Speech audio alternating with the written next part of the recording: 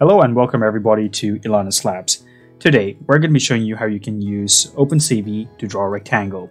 So we have a picture of a drone flying around over here, and we're going to do two things. We're going to uh, draw a red rectangle, essentially an outline, you know, kind of like we're locking on to this uh, drone.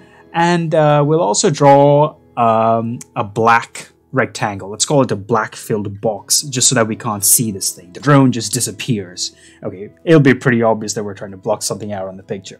Anyway, those are our two objectives. Uh, now let's actually do this using uh, CV2. Now, actually, before I start that, uh, you can see that I already have some code here. Essentially, this block over here imports the libraries we need, so uh, including OpenCV.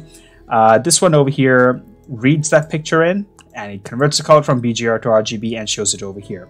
Uh, this line of code is essentially using NumPy to create a copy of this picture, and that's because when we start doing operations on this picture, we don't want it to propagate into uh, this uh, original picture that we have over here. So I'm creating a copy called drone2. Now, the function we're going to use is called cv2.rectangle, uh, and the very first uh, thing you pass into this uh, function is drone2. Now, there are four other things we're going to pass in over here, and they are, I'm going to call it chord 1, i.e. coordinate 1. Now, coordinate 1 is a point on the top left-hand corner over here, so let's call that, um, I don't know, let's call that 2800, maybe. And um, let's pass in a y value of about 500. Now, the second uh, well, actually, I suppose technically the third variable uh, is actually coordinate number two, and that'll be a point on the bottom right-hand corner of this picture. So let's also type in some coordinates for this. Um, I'm going to call it 4,500 on the x-axis and uh, about 2,000 on the y-axis. The next one we're going to do is to actually define the color. So we said, uh, what did we say? We said we're going to draw a red rectangle as if it's locking onto something. So we're going to pass in the RGB code for the color red.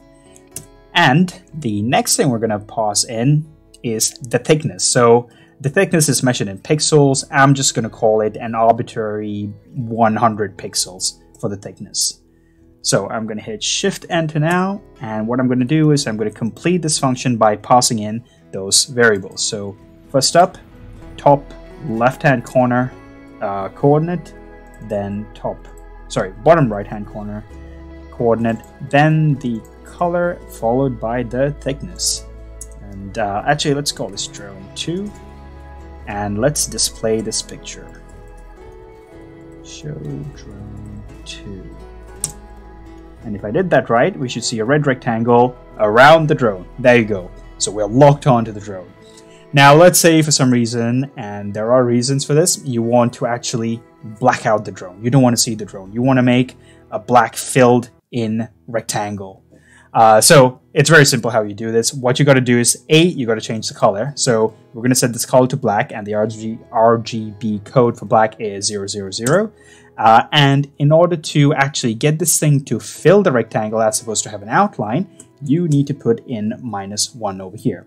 So if I now actually run the cells all the way from here, actually, let's rerun those.